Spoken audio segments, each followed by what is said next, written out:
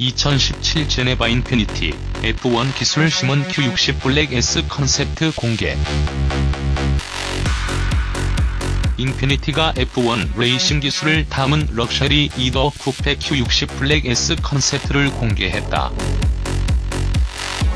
Q60 블랙 S는 인피니티와 르노 스포트 레이싱 팀이 협력해 제작한 차량으로 레이싱카 스타일의 외관과 함께 F1 KERS 하이브리드 시스템을 적용했다. KERS 시스템은 에너지 회생 모터로 전기를 충전해 powertrain의 출력과 토크를 향상시켜주는 기술이다.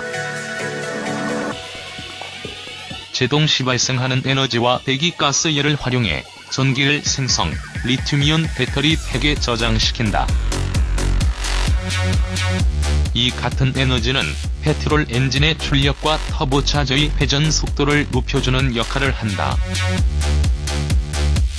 수치상으로 보면 Q60 블랙 S는 400마력의 31V6 트윈 터보 엔진과 KERS 시스템이 결합해 500마력에 달하는 높은 출력을 내뿜는다.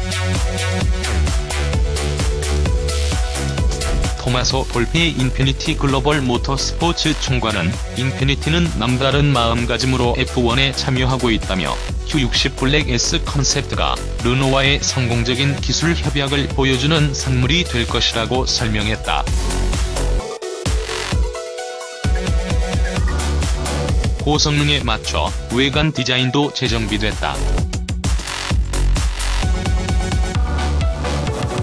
전후면 범퍼와 side skirt, air vent, 전면 윙 등의 공격적인 이미지를 심고 커다란 티타늄 tail pipe와 downforce를 증가시켜주는 대형 rear wing도 함께 장착했다.